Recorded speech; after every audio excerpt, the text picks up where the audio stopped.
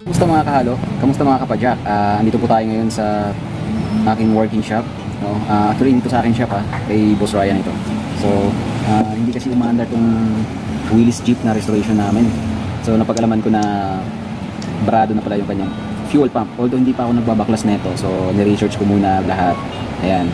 So, disclaimer lang guys ah, hindi po ako ganun ka-professional sa pagdating sa mga ganitong ah, engine mechanical uh, fixing a mechanical for engine or any kind of engine. Basta ang sa akin lang na laman ko ang kanyang function at kung paano siya tatanggalin.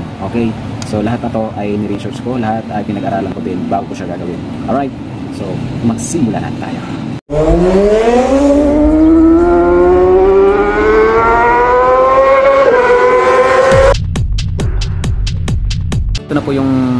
Willys Jeep na 1969 model, ah, CJ20 ang kanyang model. Ayan, so nandito sa ilalim. Ah, ang mahirap lang kasi dito guys, ah, meron siyang conversion na na aircon. Ito yung aircon compressor niya. So medyo masikip na siya dito sa ilalim. So di bale, okay lang yan. Ayan siya. Ito yon yan. Kung mapapansin nyo, meron na siyang dumi. Ayan. Sobrang dami ng dumi niya. Oh, lupa na. Pwede na siyang pagtaniman ng sibuyas, bawang, pwede na rin palay kung matubig-tubig to. Binuksan ko na yan siya guys ha. So, balik natin tong ibalik natin ang yan, ganyan po ang itsura niya. So, yan, ganyan po yung itsura niya. Para siyang ito babasagin to. Tapos ito siya, ito yung pinakalock niya. Pinakalock niya. So, ngayon tatanggalin. Tinanggal ko na yun siya.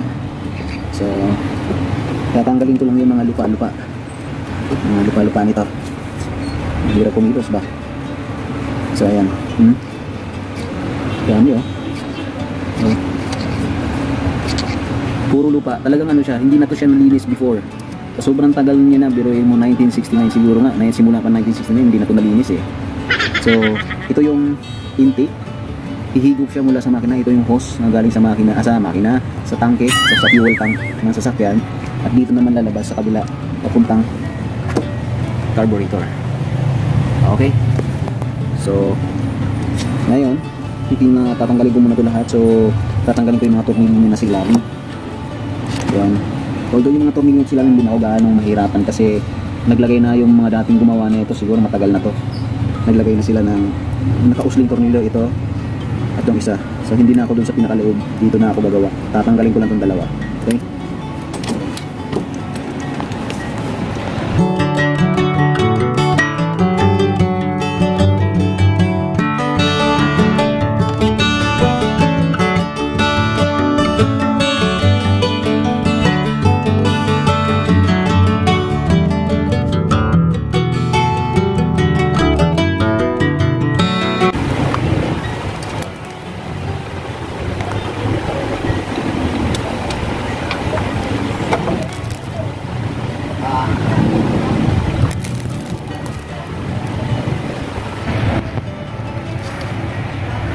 So okay mga kahalo, mga kapadyak, ano.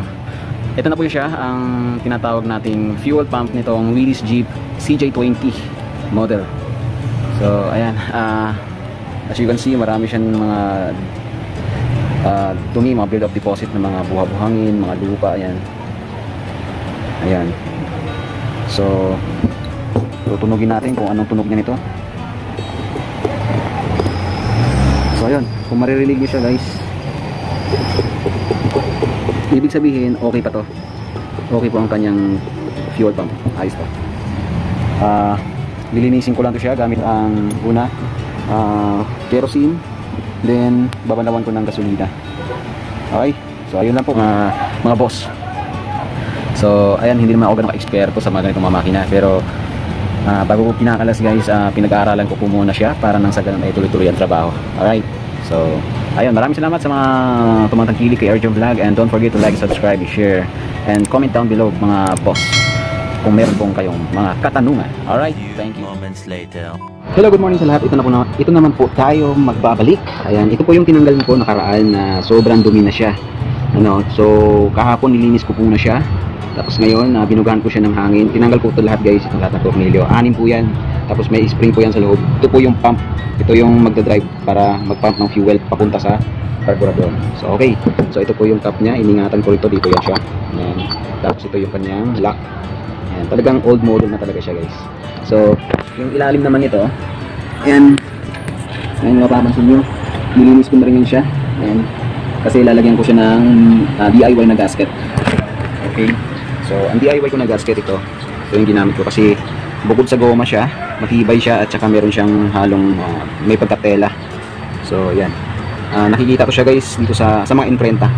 So kinat ko lang siya para dito. Ayan.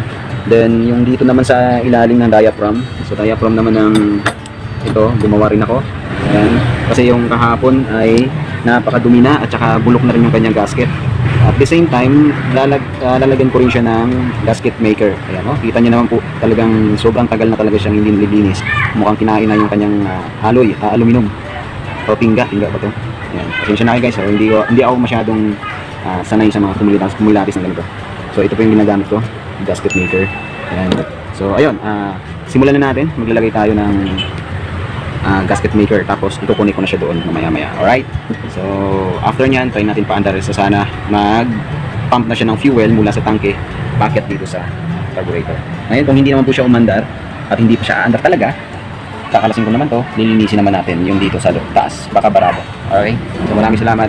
Maya maya lamang po A few moments later. At ito na po ang kanyang itsura.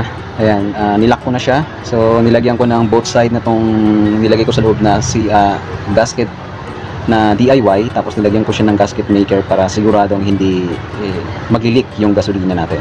Okay, yung pati naman dito, lalagyan din natin to siya ng gasket maker, tong thread na to. Kahit konti lang po para hindi siya maglilik para sigurado yung gawa natin. Alright? So, kung may katanungan, baka mahalo sa gasolina yung gasket maker, okay lang po yan dahil meron po siyang salaan dito. At the same time ay kung malulusaw siya, susunugin din po yan ng makina natin. Okay, so yun po ay nababasa ko at nalalaman ko rin sa ah, base sa aking ah, research. So, ayun lamang po. Ah, importante, wala na yung mga build deposit, yung mga alikabok sa loob ng ah, diaphragm na to.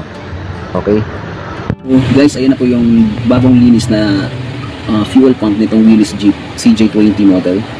And so mapapansin nyo may pagkapula siya dahil da- dahil po yan sa reflection ng gasket maker kulay pula. So ayan, set up na siya sa ilalim. Ayan. So mapapansin nyo wala na yung lupa-lupa niya sa loob. So yung gasket na lang, gasket maker na lang natira. So yan pag natuyo naman yan, wala namang magiging problema yan sa fuel natin. So maya-maya lamang papandarin natin to para matestify natin kung uh, didiretso na ba yung fuel o gasolina dito sa carburetor. Okay. So titingnan ko na rin itong carburetor, yung dito banda kung may bara pa ba siya. Okay. Meron nga pala akong sa loobin na sasabihin sa inyo mga kahalo, ano, mga kapadyak, mga ka-mekaniko. Ayan, so actually hindi naman talaga ako masya, ah, sanay talaga or hindi talaga ako professional na mekaniko. Okay? So, ang ginagawa ko lamang ay through research and then ina-apply ko siya on actual. So, kaya ako nagagawa yung mga sasakyan dahil base na rin sa pang-unawa ko, malawak ang pang-unawa ko. So, ganun naman talaga. Kailangan ah, be patient sa mga gagawin yung trabaho. Mahirap man yan, madali, kailangan pag-aralan, huwag basta-basta gagalaw. Okay? So, ganito ang senaryo ngayon na nangyayari sa akin. Itong makina na to, naubusan siya ng gasolina. So, since siya ay lumang-luma na ng makina, 1969 model pa, normal lang na kapag natuyuan talaga ng gasolina yung mga ganitong modelo, may possible po talaga na magbabara po yan. So sana lang hindi na magbabara dito kasi kung pa magbabara pa yan dito, maglilinis pa ako. Although nalinis na, na nalinis ko na yung uh, fuel pump, kaya kung mapapansin nyo, marami siyang dumi. Ang kabok.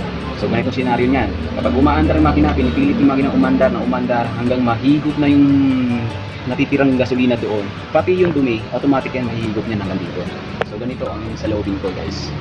Meron akong mga heaters kasi dito, hindi lang sa media, no? Ang heaters ko nandito rin sa trabaho. Actually, hindi ko alam kung ilan sila, pero ang nasisigurado ko, dalawa sila eh, or tatlo.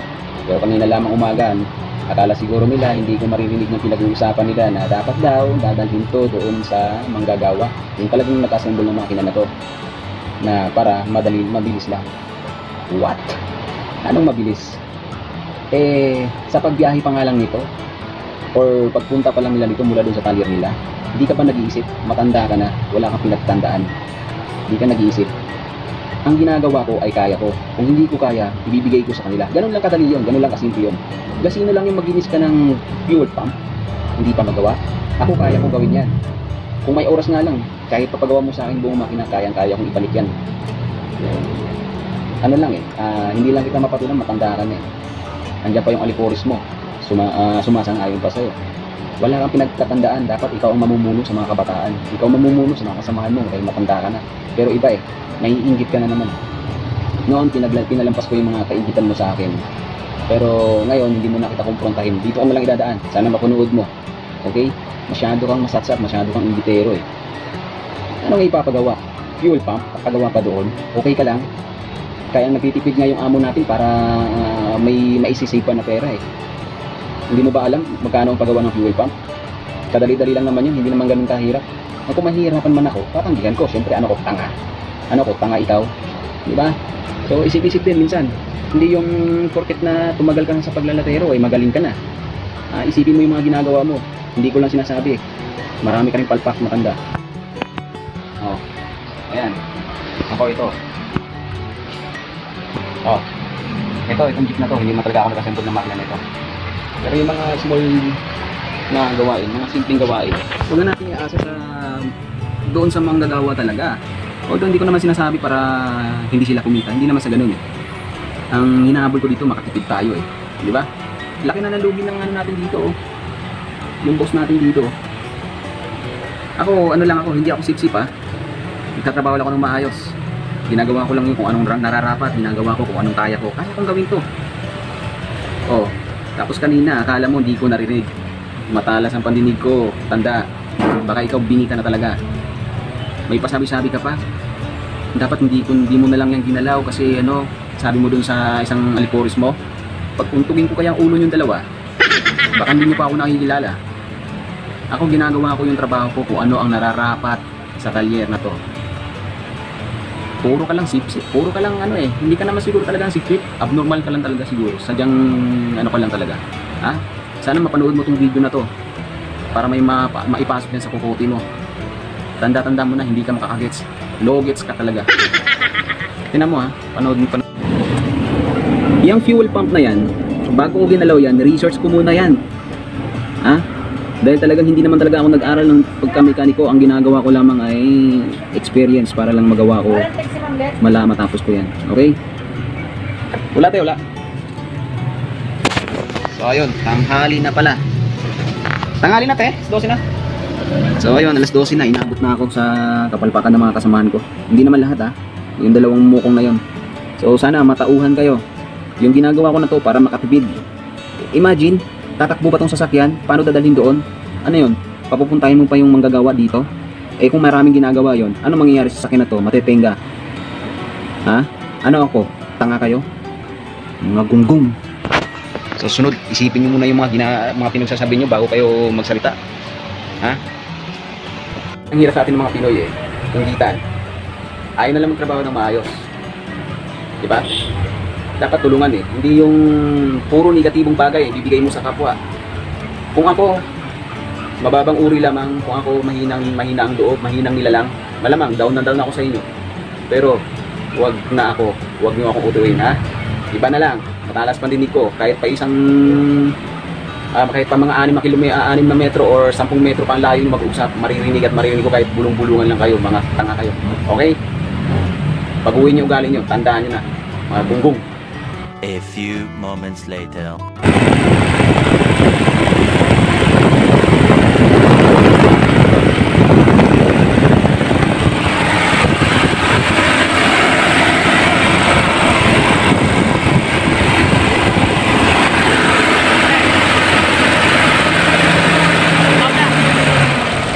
Okay, maandar na siya. So, ayos. Kulang na lang. Yung baba, ano, tumatagas. Yun na lang kukumpuni natin, guys. Yan, ito yung baba. Hindi ko nalagyan ng sila. Akala ko fix na siya yung goma, pero dito lagyan natin ng sila.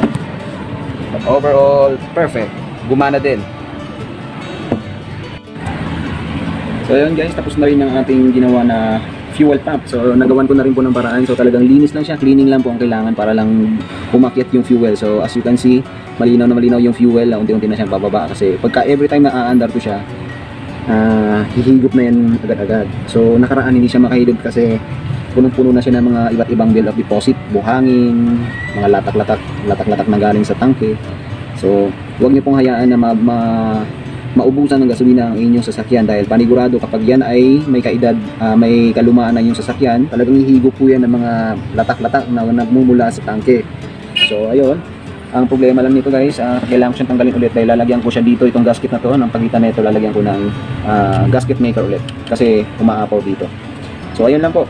So, so ayun, ah sa mga bashers ko diyan na mga mga banggiitan, no? O actually wala naman gaano sa social media eh.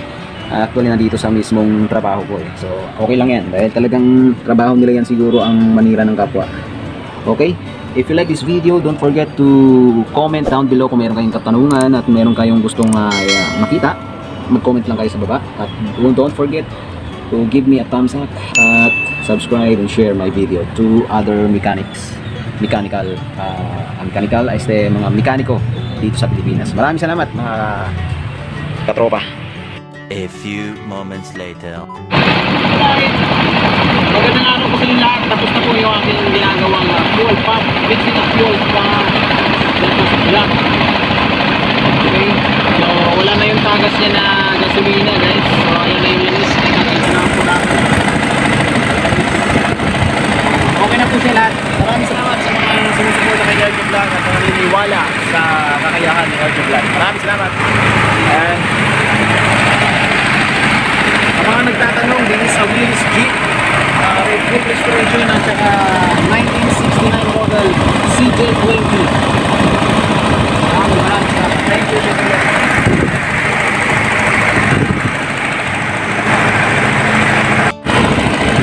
So kung mapapansin nyo, wala na yung kulay pula niya. Yan.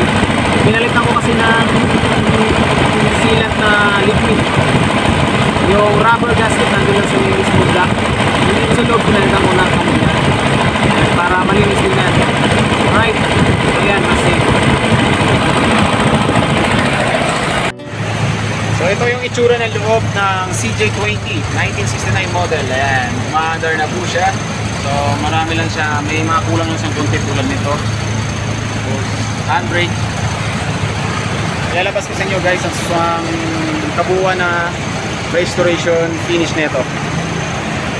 Okay.